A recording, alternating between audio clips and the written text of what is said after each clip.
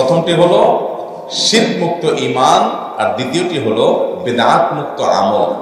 এই দুটি জিনিস যদি কেউ আল্লাহর কাছে নিয়ে যেতে পারে, তার নাজাতের চূড়ান্তভাবে আল্লাহর কাছ থেকে তিনি আশা করতে পারেন। আল্লাহ রব্বুল আলমিন দুনিয়ার এই সংক্ষিপ্ত জীবনে আমাদের সমস্ত অর্জন, আমাদের সমস্ত অ্যাচিভমেন্ট কিংবা আমাদের সমস্ত ত্রুটি বিচ্ছুতির বিচারের আয়োজন করবেন। যে দিবসে সেটা হলো ইয়ামুদ্দিন বা ইয়ামুল জাজা ইয়ামুল কিয়ামা দুনিয়াতে আমরা যে যা করি না কেন, এর সব কিছু আল্লাহ তালার পক্ষ থেকে নির্ধারিত ফিরেস তারা সংরক্ষণ করছেন, লিপিবদ্ধ করছেন। সবাইকেই কেয়ামতের দিনে এই হিসাবের মুখোমুখি হতে হবে। সেই দিন আল্লাহর কাছে মুক্তি লাভের জন্য নাজাদ পাওয়ার জন্য, জাহান্নাম থেকে মুক্তির পরোয়ানা এবং জান্নাতে প্রবেশের ঘোষণা। এই দুটি মানব জীবনের সবচেয়ে কাঙ্ক্ষিত এবং সবচেয়ে বড় পাওয়া জীবনের শেষ সফলতার চূড়ান্ত ধাপ। সেখানে এসে নাজাত এবং মুক্তি লাভের জন্য মৌলিকভাবে দুটি কাজ আমাদেরকে করতে হবে। দুটি শর্ত আছে। এই শর্তগুলো পূরণ করতে পারলে ইনশা আল্লাহ কেয়ামতের দিন শেষ হাসি হাসার সুযোগ হবে। দুনিয়াতে আমরা বিভিন্ন সময় হাসি কিন্তু এ হাসিগুলো শেষ হাসি না। এ হাসির পরে আবার কান্নার সম্ভাবনা থাকে। একজন শিক্ষার্থী ভালো শিক্ষা প্রতিষ্ঠানে চান্স পেলেন। এটা তার একটা হাসির উপলক্ষ। কিন্তু এটাই শেষ হাসি না। এরপরও তার আরও জীবনে ঘাট আছে। ভালো চাকরি পাবেন কিনা, ভালো ফলাফল করবেন কিনা, তিনি নিজেও জানেন এরপর সেই ঘাটেও যদি তিনি পার হয়ে যান, সেখানেও যদি তিনি হাসার সুযোগ পান, সফলতা পেয়ে যান তারপরেও আরও ঘাট আছে। সেই ঘাটগুলোতেও তিনি সফল হবেন কিনা নিজেও জানেন এইভাবে যেতে যেতে যেতে যেতে মানব জীবনের শেষ হাসি এবং শেষ ঘাট হলো কেয়ামতের দিবস। সেই দিবসে যদি কেউ হাসতে পারে, আল্লাহর পক্ষ থেকে জাহান্নাম থেকে মুক্তির নাজাতের ঘোষণা পেয়ে যায়, তাহলে সেই ব্যক্তি হলো চূড়ান্ত সফল কাম। ফাইনাল সাকসেস যার পরে আর কোনো ব্যর্থতার গ্লানি তাকে পোহাতে হবে না। এরপর আর কোনো ভয় থাকবে না। এরপর আর কোনো আশঙ্কা থাকবে না। এরপর আর হারানো নামত চলে যাওয়ার কোনো আতঙ্ক কাজ করবে না। সেই দিনের শেষ হাসি হাসার জন্য মৌলিকভাবে আমাদেরকে প্রথম যে কাজটি করতে হবে তা হলো, আল্লাহ তালার কাছে আমাদেরকে নিয়ে যেতে হবে বিশুদ্ধ ইমান যে ইমানের মধ্যে কোনো শিল্প নেই। আর দ্বিতীয়ত যেটা নিয়ে যেতে হবে তা হলো, এমন কর্ম যে কর্ম গোটা জীবন ধরে আমরা সম্পাদন করেছি, সেই কর্মে নবী করিম সাল্লা সাল্লামের সুন্নার অনুকরণ করা হয়েছে, বেদাতের সংশ্লেষ ছিল না। তাহলে এ দুটি বিষয়, প্রথমটি হলো শীত মুক্ত ইমান আর দ্বিতীয়টি হলো বেদাত মুক্ত আমল। এই দুটি জিনিস যদি কেউ আল্লাহর কাছে নিয়ে যেতে পারে, তার নাজাতের চূড়ান্তভাবে আল্লাহর কাছ থেকে তিনি আশা করতে পারেন। শীত মুক্ত ইমানটা কি? শীত মুক্ত ইমান মানে হলো, আমরা বেশিরভাগ মানুষ আলহামদুলিল্লাহ জন্মসূত্রে মুসলমান। আল্লাহ তালার প্রতি ইমান আমাদের আছে। ইয়মুল কেয়ামতের প্রতি ইমান আমাদের আছে। যদিও সেই ইমানটার লেভেল মিটার কোন পর্যন্ত আছে, কার মধ্যে কতটুকু আছে সেটা আলোচনা সাপেক্ষ বিষয়। কিন্তু ইমান যদি আমাদের মধ্যে থেকে থাকে, সেই ইমানকে আমাদেরকে শীত থেকে বাঁচিয়ে রাখতে হবে। ইমানের জন্য সবচেয়ে ভয়ের বিষয় হলো শিল্প এই শিল্পের অপরাধ এরকম যে এটাকে আল্লাহ তালা মাফ করবেন আল্লাহ কোরআনে বলেছেন, ইন্নাল্লাহ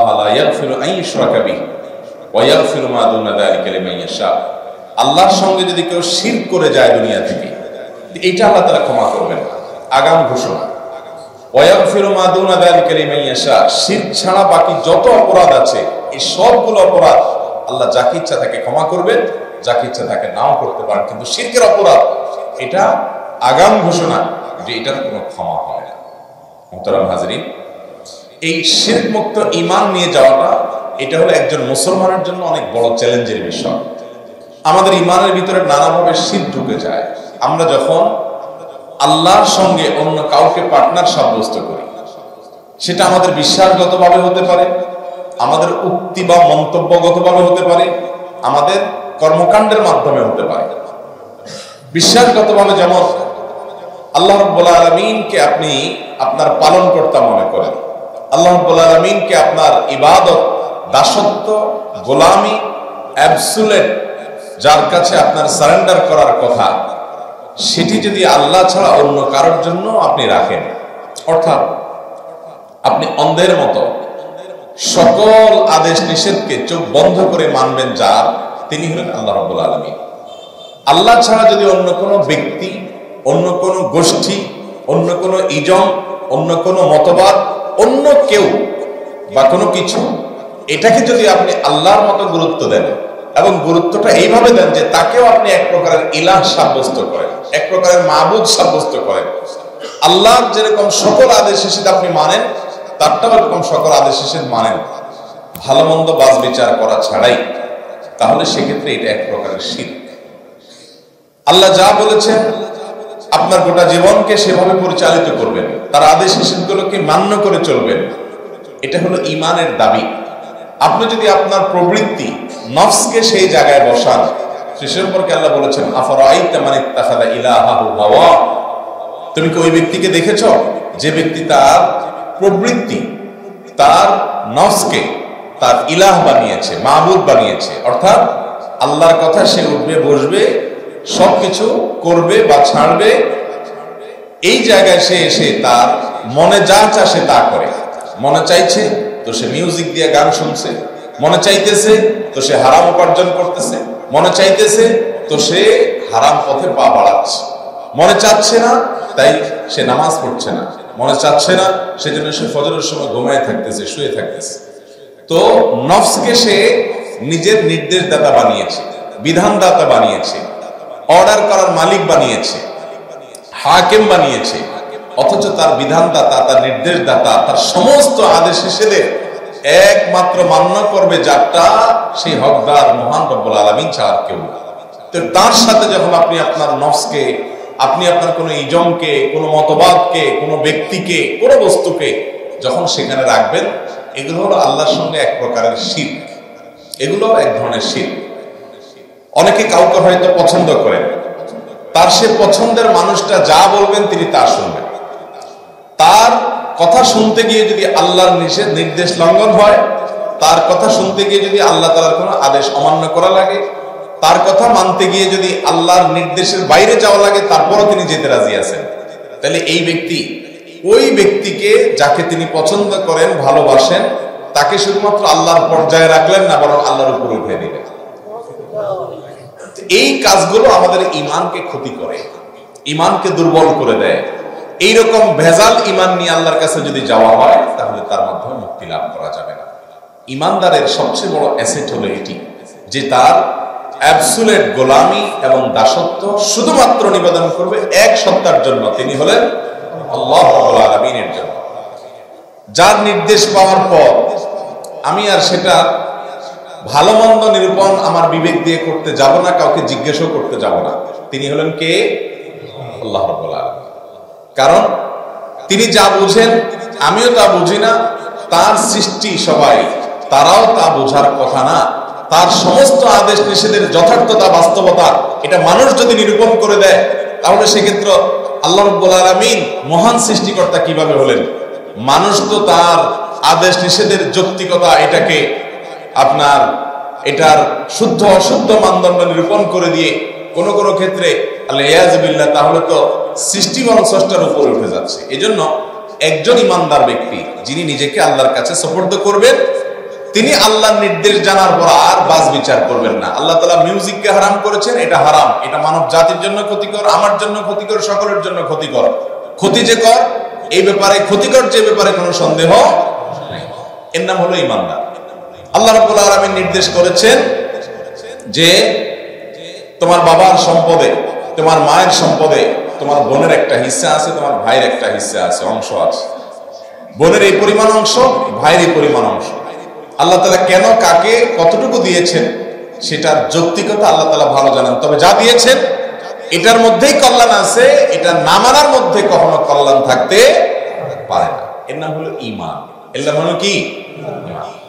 এই ইমানটা যদি আপনার আমার মধ্যে থাকে, তো কেয়ামতের ময়দানে শেষ হাসি হাসার জন্য প্রথম শর্ত আপনি পূরণ করে ফেলবেন।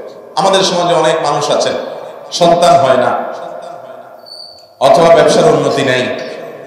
রাজনীতিতে সফলতা প্রত্যাশা করেন। পরীক্ষায় ভালো ফলাফল আশা করেন। তার জন্য বিভিন্ন মাজারে যান। কেন মাজারে যান?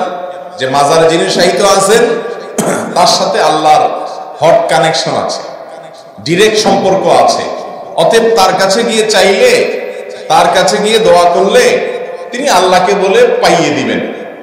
এরকম বিশ্বাস আমাদের অনেক মুসলমানদের মধ্যে আছে। অথচ আল্লাহ তালা কোরআনে কারিমে বলেছেন উদৌনি তোমরা আমার কাছে দোয়া করো। ডাইরেক্ট সরাসরি, আমার কাছে দোয়া করো। আমি তোমাদের দোয়া কবুল তো সেখানে আপনি আল্লাহর মাঝে কি করছেন? আরেকজন মিডিয়া বানাচ্ছেন মাধ্যম সাব্যস্ত করছেন।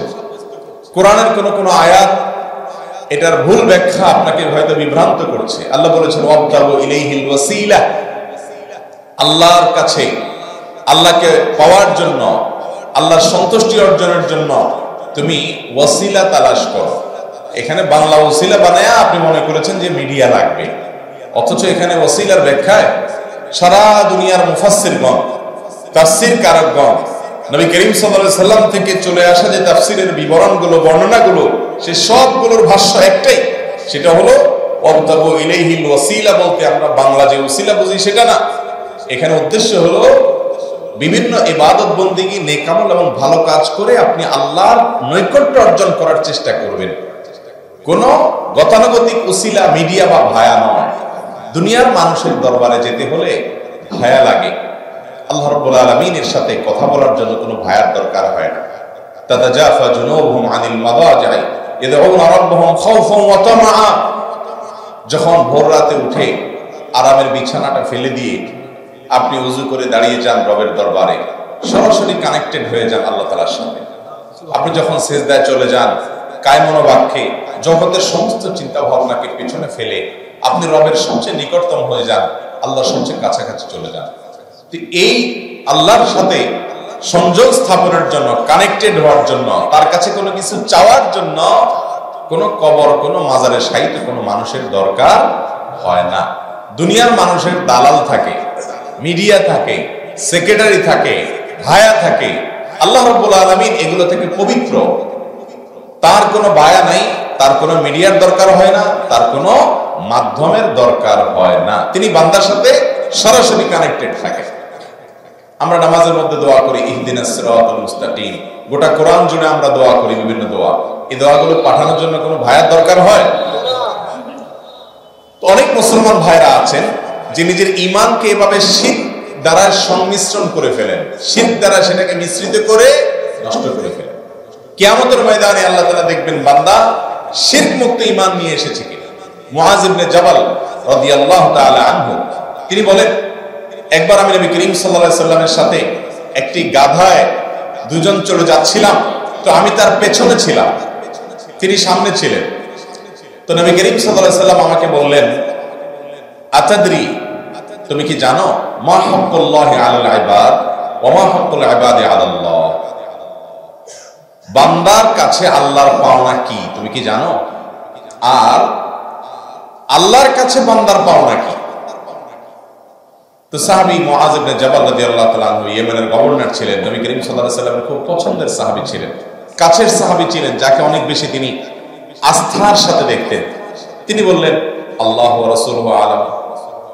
এ বিষয়ে আল্লাহ ভালো জানেন। আল্লাহ রাসূল আল্লাহর মাধ্যমে তিনি ভালো জানেন। আমি জানি না, ইয়া রাসূলুল্লাহ।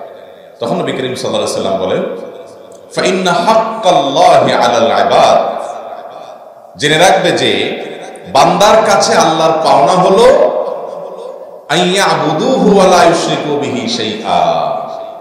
যে তারা আল্লাহর ইবাদত করবে এমন ভাবে দাসত্ব করবে, গোলামি করবে এমন ভাবে যে আল্লাহর সাথে আর কাউকে সে শরীক সাব্যস্ত করবে না। পার্টনার সাব্যস্ত করবে না তাও ঈদটাকে স্ট্রং করবে। এটা আল্লাহর হক, আল্লাহর অধিকার। আর ও আম্মা ওয়াহাক্কুল ইবাদে আলাল্লাহ। আর আল্লাহর কাছে বান্দার পাওনা এবং অধিকার হলো আল্লাহ ইউআযিবা মান লা ইউশরিকু বিহি শাইআ। যে ব্যক্তি দুনিয়াতে আল্লাহর সঙ্গে কোনো কাউকে শরীক করে নাই, এই ব্যক্তিকে আল্লাহ তাআলা কোনো আযাব দিবেন না, নাজাতের ঘোষণা দিয়ে দিবেন। মুহতারাম হাজিরিন এই জন্য একজন ইমানদারের সবচেয়ে বড় প্রচেষ্টা হবে শিল্প মুক্ত ইমান লালন করা, ধারণ করা, ইমানটাকে সেভ করার চেষ্টা করা। বহুমুখী আঘাত আসবে। ধর্মীয় দৃষ্টিকোণ থেকে আঘাত আসবে, জাগতিক দৃষ্টিকোণ থেকে আঘাত আসবে, বিভিন্নভাবে আঘাত আসবে। আপনার অন্তরে আপনার মহান সৃষ্টিকর্তা, ক্ষুদ্র একজন সৃষ্টি হিসাবে যে স্থান তার প্রতি রয়েছে এই স্থানটা কখনো আপনার তথাকথিত প্রিয় মানুষ, তথাকথিত প্রিয় কোনো গ্রুপ, প্রিয় কোনো বল প্রিয় কোনো প্ল্যাটফর্ম প্রিয় কোনো মতবাদ, প্রিয় কোনো ইজম প্রিয় কোনো দল, প্রিয় কোনো ব্যক্তি, প্রিয় কোনো কিছু, সেই জায়গাটা দখল করতে চাইবে। শয়তান বিশেষ করে সেই জায়গাটা দখল করে দিতে চাইবে। আর আল্লাহ আলামিন হলেন গায়ুর। ইন্নাল্লাহ গায়ুর। আল্লাহ তাআলা হলেন প্রচণ্ড রকমের আত্মসম্মান বোধ সম্পন্ন মহান সত্তা। তার সাথে কাউকে শরিক করা হলে তিনি সেটাকে সম্পূর্ণ বাতিল করে দেন আর গ্রহণ করেন না। আপনার ভালোবাসা হবে সবচেয়ে বেশি কার জন্য?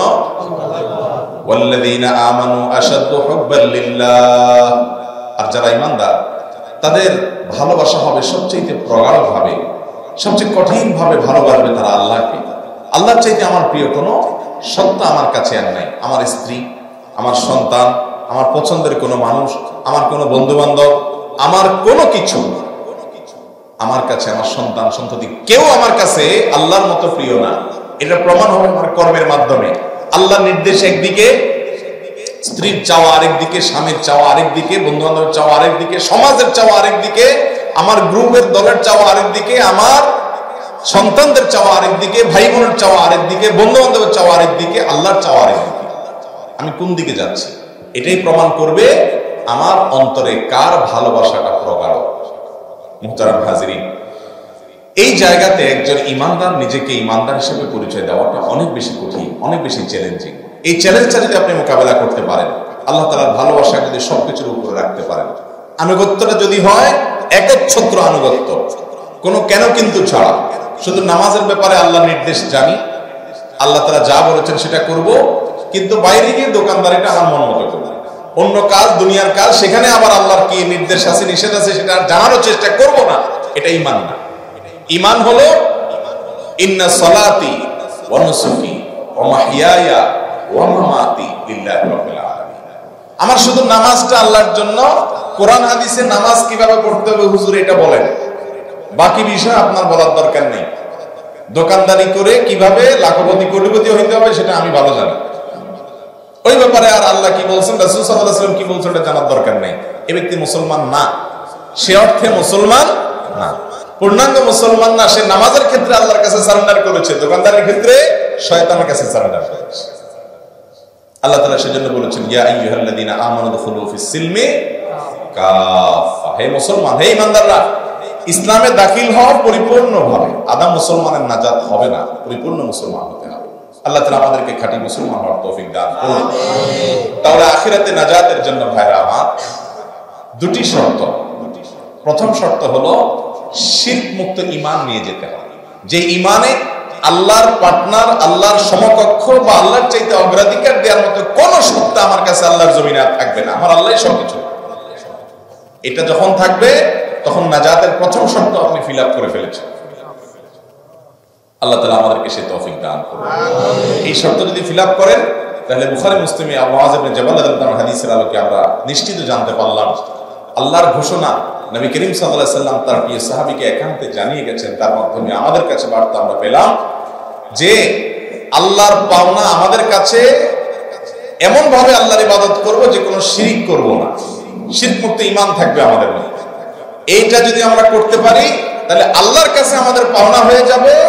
কোনো শাস্তি ছাড়া সোজা জান্নাতে যাওয়া চেষ্টা করা যাবে না ইনশাআল্লাহ আল্লাহ। তাআলা আমাদের সকলকে দুনিয়ার সব কিছুর উপরে আমাদের মহান মালিক রব্বুল আলামিনের আনুগত্যকে, একচ্ছত্র আনুগত্য, প্রকৃত গোলামি, প্রকৃত আব্দিয়ত, প্রকৃত দাসত্ব, যে দাসত্ব আমার গোটা জীবনের সব কিছুকে সামিল করে সেই রকম দাসত্ব করে দুনিয়ার এই সংক্ষিপ্ত জীবন পার করার তৌফিক দান ভাইরা আমার আমরা সবাই দাস। দাস ছাড়া পৃথিবীতে কোনো মানুষ নেই। যে মুসলমান সেও দাস, যে নাস্তিক সেও দাস, যে অন্য কোনো ধর্ম পালন করে তিনিও দাস। দাস ছাড়া কেউ নেই। পার্থক্য হলো, কিছু মানুষ আহকামুল হাকিমিন, রব্বুল আলমিনের দাস, আর কিছু মানুষ রব্বুল আলমিনের দাসদের দাস, অথবা নিজের নস বা প্রবৃত্তির দাস। কিছু লোক সবকিছুতে আল্লাহ কি বলেছেন? কি বলেন নাই? কি করতে বলেছেন? কি করতে নিষেধ করেছেন? এটা দেখে দেখে চলে। এ হলো আল্লাহর দাস। আর কিছু লোক আছে, সেটা দেখে না। হয়তো অন্য কারোর কথা শুনে, তাহলে সে তার দাস। অথবা নিজের নফসের কথা শুনে, তার নফস তাকে যা বলে তা করে। তাহলে সে কার দাস হলো? নফসের দাস। আল্লাহর কাছে শিরটা সবচেয়ে বড় অপরাধ কেন? কি কারণে শির সবচেয়ে জঘন্য অপরাধ? এর অনেক কারণের ভিতরে একটা কারণ হলো, এটা আল্লাহর শানের সবচেয়ে বড় বেয়াদবি হয়। আল্লাহর শানের সবচাইতে কি হয়? বেআরবি হয়।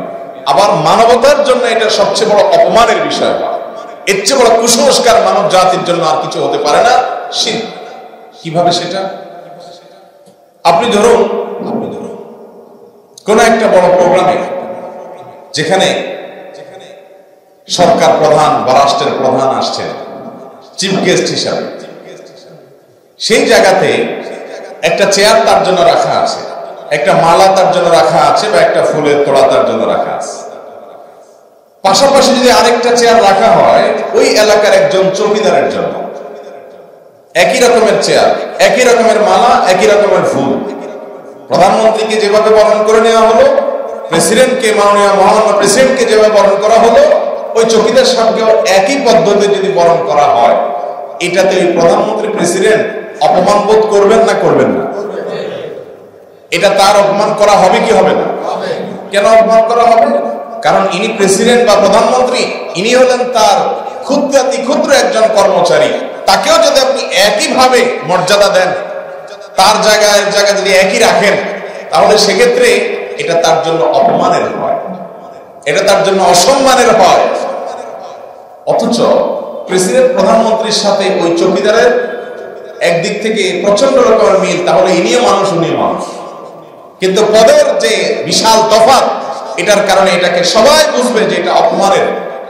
ঠিক একইভাবে, আপনি কোনো মানুষকে, কোনো ব্যক্তিকে, কোনো বস্তুকে, আপনার নিজের মস্তিষ্ককে যখন আপনার হুকুমের মালিক বানিয়ে নিলেন, যেদিকে বলে সেদিকে চলেন, যা বুঝায় তা বুঝেন, তাহলে সেক্ষেত্রে আহকামুল হাকিমিন রব্বুল আলমিনের যে গোলামি এবং দাসত্ব করার কথা, তার পাশাপাশি আল্লাহর একটা ক্ষুদ্রাতি ক্ষুদ্র সৃষ্টিকে আল্লাহর সমকক্ষ বানিয়ে তার দাসত্ব আপনি করতেছেন। মালিক আল্লাহকেও বানিয়েছেন, তাকেও বানিয়েছেন। এটা আল্লাহ আলমিনের শানের সাথে অপমান। এই প্রধানমন্ত্রীর সাথে, ওই চকিদারের যতটুকু পার্থক্য, সৃষ্টির সাথে স্রষ্টার পার্থক্য, তার চাইতে হাজার লাখ কোটি গুণ বেশি। ঠিক না ঠিক সৃষ্টির সাথে স্রষ্টার কোন তুলনা চলে? প্রেসিডেন্ট, প্রধানমন্ত্রীর সাথে চকিদারের তো অনেক দিক থেকে তুলনা চলে যে ইনিও মানুষ, তিনিও মানুষ। ঠিক না ঠিক তারপরেও অপমানের হয়, তাহলে আল্লাহ রব্বুল আলমের সাথে শির করা কত জঘন্য অপরাধ? আর দ্বিতীয়ত, শিরকের অপরাধটি জঘন্য হওয়ার কারণ হলো, এটা মানবতার জন্য অপমান। মানবতার জন্য কীভাবে অপমান? মানুষকে আল্লাহ রব্বুল আলমিন শ্রেষ্ঠত্ব দিয়েছেন, অনেক মর্যাদা দিয়েছেন, যার কারণে মানুষ যাত্রার সামনে মাথা নত করবে না, যাত্রার সাথে দাসত্ব করবে না যাত্রার গোলামি করবে না। আপনি আমাকে যাত্রার সামনে যদি যাত্রাকে ইজ্জত দিতে বলেন, একজন ইজ্জত পাওয়ার উপযুক্ত না, তাকেও যদি আপনি আমাকে ইজ্জত দিতে বলেন, তাহলে এটা আমার জন্য অপমানের নয় কি? মানুষ আল্লাহর শ্রেষ্ঠ সৃষ্টি। ইন্না ইনদাল্লাহি আত্তাকুম, আল্লাহ বলেছেন আল্লাহর কাছে সবচেয়ে বেশি সম্মানিত। আল্লাহ রাব্বুল আলামিন মানুষকে সমস্ত সৃষ্টির মধ্যে আবার সম্মানিত করেছেন। ওয়ালাকাদ কাররামনা বানি আদম, আল্লাহ বলেছেন, আমি আদম সন্তানকে সবচেয়ে বেশি মর্যাদা এবং সম্মান দিয়েছি। আল্লাহর সম্মানিত সৃষ্টিটাকে যদি আপনি বলেন অমুক ব্যক্তির, অমুক ইজমের, অমুক গ্রুপের বা আপনার নিজের নফসের, আপনার ব্রেইনের মস্তিষ্কের গোলামি করেন, তাহলে আপনি মানুষকে রব্বুল আলমিনের গোলামি করার যে একটা গৌরবের ব্যাপার ছিল, সেখান থেকে নামিয়ে এনে তুচ্ছাতি তুচ্ছ সৃষ্টির গোলামিতে লাগাই দিলেন। এই জন্যই শীতটা আল্লাহর কাছে সবচেয়ে বড় জঘন্য অপরাধ। এটা মানব ইতিহাসের সবচেয়ে বড় কুসংস্কার। ইমানকে যদি আপনি শীত থেকে মুক্ত রেখে নিয়ে যেতে পারেন, আপনার দোয়া, আপনার প্রার্থনা কবুল করার একমাত্র মালিককে আপনার সমস্ত আদেশ এবং নিষেধ অন্ধভাবে মানবেন যে, গ্রহণ করবেন যে, এটার একমাত্র উপযুক্ত সত্তাকে আল্লাহ। আপনার সকল ভালোবাসা, আপনার সকল বৈরিতার কেন্দ্রবিন্দু হবেন যিনি, যাকে কেন্দ্র করে ভালোবাসবেন, যাকে কেন্দ্র করে অপছন্দ করবেন। তিনি কে? এই জায়গায় যদি আল্লাহ রব্বুল আলমিনকে আপনি একচ্ছত্র ভাবে নিরঙ্কুশ ভাবে নিঃশর্ত ভাবে আল্লাহকে রাখতে পারেন। আপনার অন্তরে সে অবস্থান, আল্লাহর প্রতি বিশ্বাসটা যদি সেই লেভেলে থাকে, এটাকে বলা হয় শিরিক মুক্ত ইমান যে ইমানে কোন শিরকের নামগন্ধ, আমার আল্লাহর সাথে কোনো তুলনাযোগ্য, আমার আল্লাহকে আমি যেই জায়গায় রেখেছি আমার অন্তরে, আমার বিশ্বাসে, আমার মনে, মস্তিষ্কে, মননে, সেই জায়গায় অন্য কোনো কাউকে রাখার কল্পনাও আমার মাথায় নাই। এই অ্যাবসুলেট এবং এই ধরনের নিরঙ্কুশ গোলামি এবং দাসত্ব, এটাই হলো তাওহীদ। এটাই কি ভাই? এই তাওহীদ হলো ওই যে কিয়ামতের ময়দানে নাজাতের জন্য প্রথম শর্ত শিরক মুক্ত ঈমান। দ্বিতীয় নম্বর হলো বেদাত মুক্ত আমল। বেদাত মুক্ত বেদাত মুক্ত আমল মানে হলো আমার গোটা জীবন পরিচালিত হবে, আল্লাহর পক্ষ থেকে প্রেরিত, আল্লাহর নির্বাচিত, আল্লাহর নির্ধারিত রসুল করিম সাল্লাহ আলী ওয়াসাল্লামের শেখানো, বাতানো এবং তার পথ দেখানো পদ্ধতি অনুযায়ী আমার জীবনকে যদি আমি পরিচালনা করতে পারি। আমার চাকরি বাকরি আমার ব্যবসা বাণিজ্য, আমার কাজকর্ম, আমার লেনদেন, আমার পারিবারিক জীবনযাপন, আমার ব্যক্তিগত জীবনযাপন, আমার জীবনের প্রতিটি স্টেপ, সব কর্মকাণ্ড হবে কার আদর্শ অনুপাতে? মোহাম্মদ রসুল্লাহ আদর্শ সেখানে মন গড়া কোনো কিছু হবে না।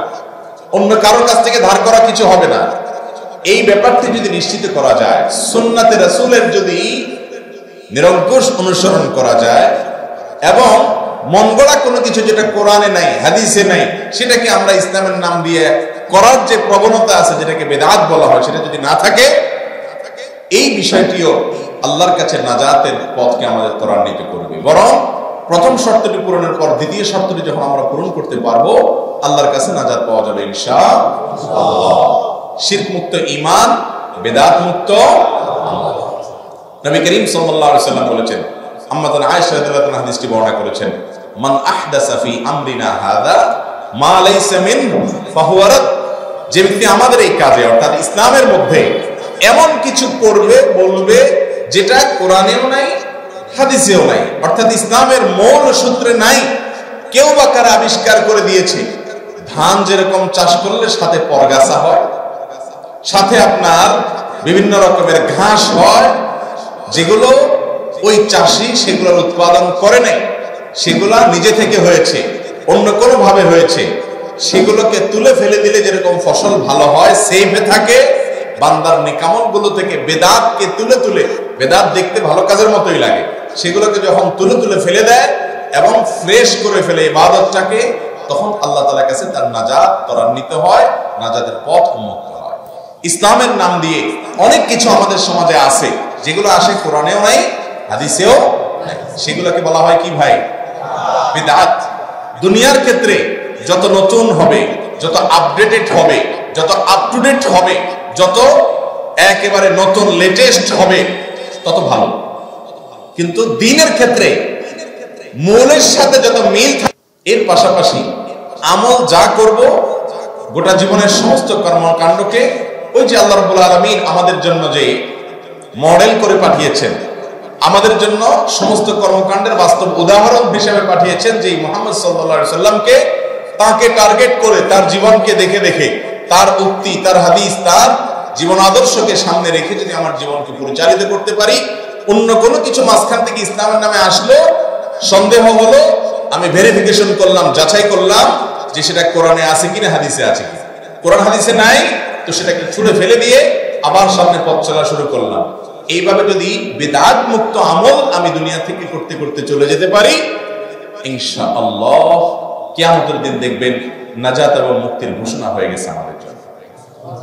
আল্লাহ রাব্বুল আলামিন কিয়ামতের এই ভয়াবহ সময় আমাদেরকে নাজাতের পথ যেন আমরা পেয়ে যাই, আল্লাহর কাছে যেন আমরা জাহান্নাম থেকে মুক্তির পরোয়ানা শুনতে পাই, আমরা যেন ডান হাতে আল্লাহর কাছ থেকে আমল নামা পেয়ে যাই, আমরা যেন আল্লাহর কাছ থেকে জান্নাতি হিসাবে সুসংবাদ শুনতে পারি, আমরা যেন আমাদের জীবনের সর্বশেষ হাসি হাসতে পারি, যে হাসির পর আর কান্না আসবে না, যে হাসির পর আর গ্লানি আসবে না, যে হাসির পর আর কোনো দুঃখ আসবে না, যে প্রাপ্তির পরে আর অতৃপ্তি কখনো পাবে না। যে প্রাপ্তির পর সেই প্রাপ্তি হারিয়ে যাওয়ার অনিশ্চয়তা কখনো থাকবে না। সেই অনাদি অনন্তকালের সুখের ঠিকানা জান্নাত হিসাবে, জান্নাতি হিসাবে নিজেদেরকে ইনশাআল্লাহ বিদিনের আবিষ্কার করতে পারব। শির মুক্ত ইমান বেদাত মুক্ত আমলের মাধ্যমে। চেষ্টা করব না ইনশাআল্লাহ দুইটা কাজ আমাদের জীবনে যতটুকু আমল করব, আমল খুব বেশি করতে না পারলাম, অল্প স্বল্প করলাম, কিন্তু সেটা কি? শিখ মুক্ত বেদাত এটা যদি হয় আখলিস দিন ইয়াকফিকাল আমালুল তালি অল্প আমলই নাজাদের জন্য কি হয়ে যাবে? যথেষ্ট হয়ে যাবে ইনশাআল্লাহ। নকল টাকা অনেক আছে সাথে কিছু আসল টাকাও আছে। মুক্তি হবে না জেলে যেতে হবে। আর নকল টাকা একটাও নাই আসল টাকা অল্প আছে মুক্তির আশা করা যায় কি যায় না? টাকা কম আছে, দোকানদার মায়া করে, দয়া করে আপনাকে দিয়ে দিতে পারে বাকিতেও দিয়ে দিতে পারে, এমনিতেও দিয়ে দিতে পারে যে কম আছে, ঠিক আছে, দিয়ে দিলাম। কিন্তু যদি চিটারি করে আসলের সাথে নকল ঢুকাই দেন আর দোকানদার ধরতে পারে, তাহলে মাল দেওয়া তো দূরের কথা, জেলখানায় দিবে। ঠিক না ঠিক? ঠিক একই ভাবে একই ভাবে দুনিয়াতে আমলের নামে সুন্নাতে নাই, নবী করিম সাল্লাল্লাহু আলাইহি সাল্লামের হাদিসে নাই, কোরআনে নাই, কিন্তু দেখতে ভালো মনে হয়। এরকম আমল ঢুকাই দিছেন, আবার ভালো আমলের সাথে আছে এই ভেজাল আর আসল মিলে কিয়ামতের ময়দানে আল্লাহর সামনে পেশ করবেন। নকল আমল থাকার কারণে কুল্লু বিদআতিন দালালা ও কুল্লা দালালাতিন ফিন্নার। জেলে যেতে হবে, জাহান্নামে যেতে এই জন্য ভাইরা আমার, আমল যেটুকু করব সলিড কিনা পিওর কিনা, কোরআন হাদিসে আছে কিনা সেটা দেখব। এর বাইরে আর কোনো কথা আমরা শুনব না। চেষ্টা করব না, ইনশাআল্লাহ? আল্লাহ রাব্বুল আলামিন আমাদের সবাইকে এই তাওহীদকে মজবুত করা, সুন্নাতে রাসূলকে আঁকড়ে ধরা, শিরক মুক্ত ঈমান আনা বেদাত মুক্ত আমল করা, এ দুটি কাজ করার মাধ্যমে আমাদের ইসলামকে সলিড করা, পরিচ্ছন্ন করা পিওর করা এবং কিয়ামতের ময়দানে শেষ হাসির মাধ্যমে হাসার আল্লাহর পক্ষ থেকে নাজাত লাভ করার তৌফিক আমাদেরকে আল্লাহ আলহামদুলিল্লাহ আলামিন।